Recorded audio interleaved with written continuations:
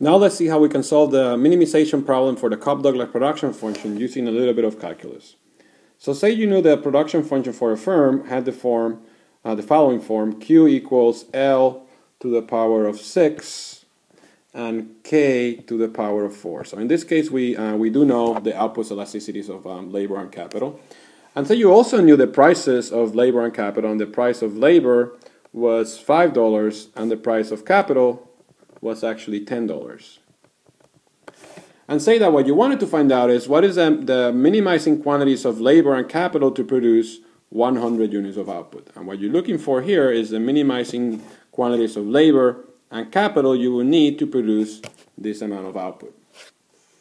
Well, the first thing you need to use is the minimizing cost equation you found um, already, and this is what we derived in the previous video, and that is when the firm minimizing cost the ratio of the marginal productivity, which is the slope of the isoquant, or the marginal rate of technical substitution, is equal to the ratio of the prices.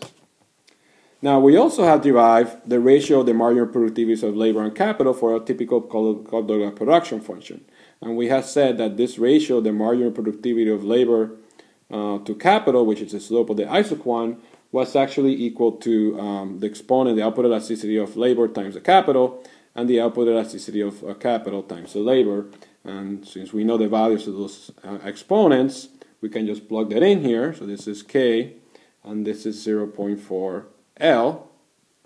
So basically, we know that the ratio of the marginal productivity is given these numbers that we were given is 1.5 K over L. The slope of the isoquant is equal to 1.5 K over L. So now we can replace that uh, for this term right here in the minimizing cost equation, and we know that 1.5 uh, k over L is going to be equal to the ratio of the prices. We have a value for W is 5, and we have a value for R is 10. So the minimizing cost equation for this problem is going to be equal to this. Now we can further simplify this by kind of cross multiplying here, and we end up with L equals uh, 3 Okay, so what this this is the minimizing cost equation uh, for this particular problem. All right, let's do that in um, let's do that in red here.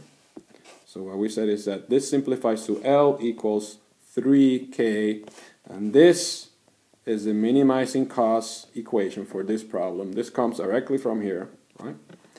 So now we have basically two equations, one and 2 and also only two unknowns because we know q. q is 100.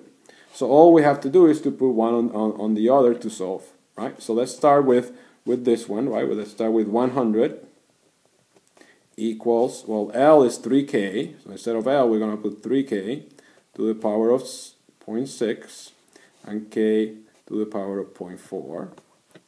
And we can solve this equation for L Right, let's uh, create a little space here so we don't have to go to another page. We can solve this equation for, uh, for k.